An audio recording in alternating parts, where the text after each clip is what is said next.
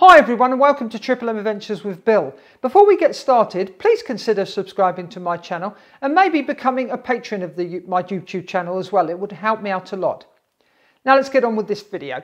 This video is prompted by the new firmware update for the TBS Tracer transmitter module. Now they have made adjustments to the power levels, giving us a ludicrous power level, which is quite sweet. And they've also changed something for the LQ um, statistics data. So I wanted to rerun my test. Now I'm going to do the penetration test. That's where I have the radio and the, firstly the receiver inside the house and then the radio inside the house. And then I just moved on to the 585 meter mark where I have the cottage and trees in the way because that's the more trickier um, test for the receivers that I test. So let's have a look at those uh, tests that I did first, the penetration ones, and then we're going to switch over to the computer so I can go through the data with you that I came up with. What I'm going to do now is rerun the penetration tests and I'm going to go to the over there to the 585 meter mark to run the test again after the ludicrous power level update uh, for the tracer transmitter. So we're going to be looking for um, or listening for our telemetry lost. So let's go. Okay. Let me just put the antenna up. There you go. Telemetry lost. Okay. Telemetry lost. No other warnings at 88.0 meters. Exactly 88 meters we've lost telemetry. Let's turn around yeah completely. That's surprising. I can't remember how that compares before. Now we're going to look for a failsafe on the Tracer uh, PWM receiver after the ludicrous power upgrade. So off we go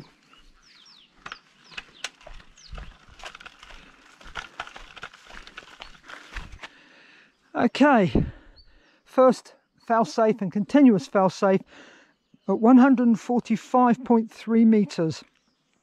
That's 145.3 meters. Complete failsafe. Turn round. See if we connect again. Yes.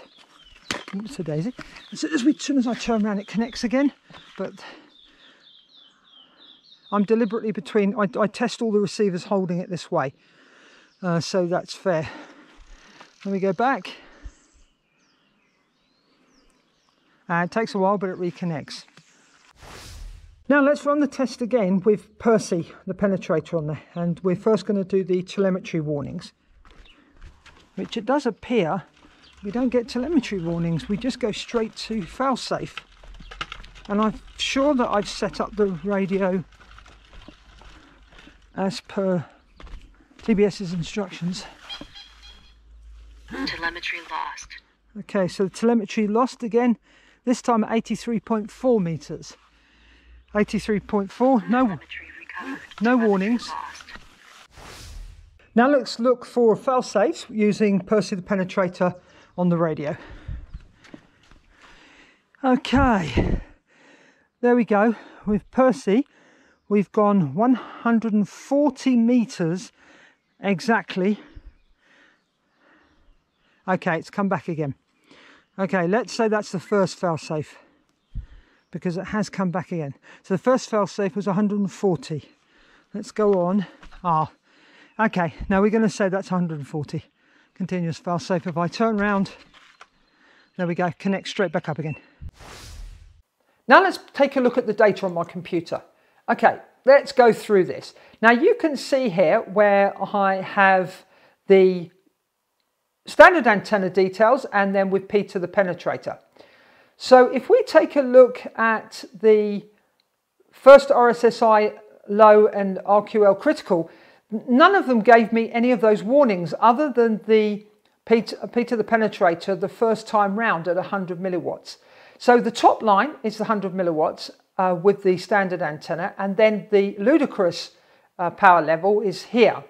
Now you can see there's been a marked um, increase in the um, distance that the transmitter uh, and the receiver connected. You can see here that at uh, 100 milliwatts it was 101.6 meters and then it went up to 145.3. That's an increase of 43.0%, which you agree is quite a lot. I know my tests aren't scientific, but they are compared in the same way and that's obviously I know people were having problems with uh, fail-safing, so hopefully that will, will sort that out. Now, if we go over to Peter the Penetrator here, you can see at 100 milliwatts, it was 100.3. Now, just to note, you can see here that um, the first failsafe and failsafe went exactly at the same time. This is when I'm looking for the um, LED to change on the receiver.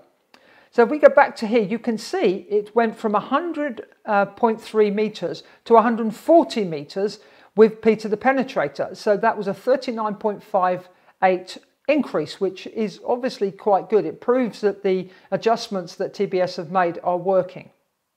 Now let's have a look at the range test I did at 585 meters. You can see here that at 100 uh, milliwatts before, the average uh, RQL was 48.3 and the lowest was zero. So you can see I made a note here that the RQL was jumping around. Um, and I was worried that that would have fail-safed at that distance because there was the lowest uh, RQL was zero. But with the new adjustments and on ludicrous mode, you can see it's now the average uh, RQL is 99.73. That's an increase of 106.49%. So now this could be affected by the, the changes they did in, in the firmware with regard to its calculation of this because this is maybe why I was having these problems here was because there was actually something technically wrong with the, with the module, with the way it was calculating the RQL, which they now have said they have corrected. But they have definitely corrected something. You can see this because of this increase. So you see I had a, um, a high uh, RQLY of 100 and then up with the ludicrous it's now 100 but before I had a low of zero and now it's uh, the low of 97. So there was no way that wasn't connected and it is a very tricky uh, distance that it was checked. I am uphill and the, the bridge that I stop at is below hill but there are trees and the buildings in the way. Then we go on to Peter the Penetrator. You can see 100 milliwatts before the update um, it was 86.7 was the average. The high was 100, but the low was 26. So again, it, it um, maybe that would have actually fail-safed because of that low reading. But when we get over to the ludicrous setting, you can see the um, average now went up to 99.7. Uh, the high stayed the same, obviously 100, but there's a big dramatic change here because it's now 92. So that is definitely not I would say uh, it shouldn't be fail-safing um, because of this reading. It's, it's difficult to tell because these are the um, RQL readings, but one would assume that after the adjustments that TBS have made that this would be um, you know, would be the case. And you can see it was a 15.0% increase in the average RQL for that distance. I didn't go on to um, the uh, you know testing over longer distance because I think this proves there has been some form of change for the better in the um, firmware on the transmitter. Thanks for watching this video and if you enjoyed it please give it a thumbs up and if you have any questions or comments please leave them in the comment section below because I'd love to hear from you. Thanks for watching, happy flying, bye for now, bye bye.